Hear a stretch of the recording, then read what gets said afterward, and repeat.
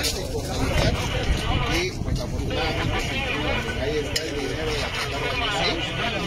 Lamentablemente ya no pudo llegar la chatarra hasta Puebla, porque dicen estaba que vienen de Mérida, se dirigían hasta Puebla, ya lamentablemente no llegó la chatarra, y ya los paramédicos de ya atendieron al amigo, que presentó una lesión a la altura de cabeza del portero, la verdad sí.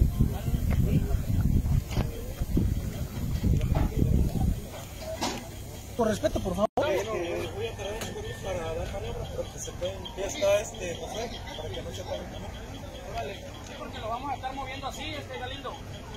El problema es para dar la vuelta, pero que se suban bien.